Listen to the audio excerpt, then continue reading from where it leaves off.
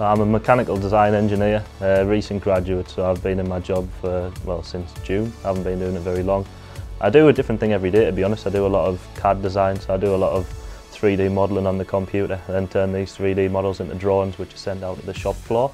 So the shop floor lads can then make this thing on all the different machines we have. But I can't just send the drawing out there. I have to know exactly how this is going to be made. So I also do a lot of production management. I have to buy in the material for the job, and then I've got to plan exactly which machines will be doing what work. I would say one of the most difficult things is actually being able to look at a drawing on a piece of paper and be able to see how this thing, what this would actually look like in real life, a finished article. So you have to be able to read these drawings, these dimensions and see where the difficult parts to machine are, uh, what difficulties are you going to have on the shop floor when it comes to actually making this thing.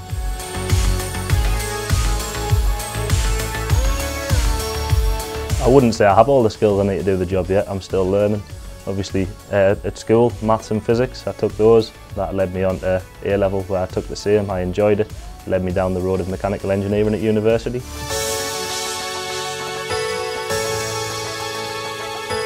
I got a job straight out of university in that sort of manufacturing business and it's a very interesting role. You do something different every day.